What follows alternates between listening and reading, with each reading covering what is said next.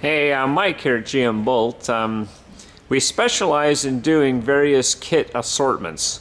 And you can see some of these here. We've got machinery keys, cupboard hooks, springs, rubber O-rings, uh, all of your nuts and bolts and screws, self-tapping screws. And in particular, what's one that's been very popular have been the grease nipples and the, oh, and the circlips, as well as the Woodruff keys and split pins. And these kits are a great deal. Um, basically, you get a full range of all the different sizes. And you can see some of the prices on there. We're talking mostly uh, $12 to around $20 each for a kit. Anyway, this is the uh, Rocket brand kits. They don't make them anymore. And so um, get these while they last. Bye.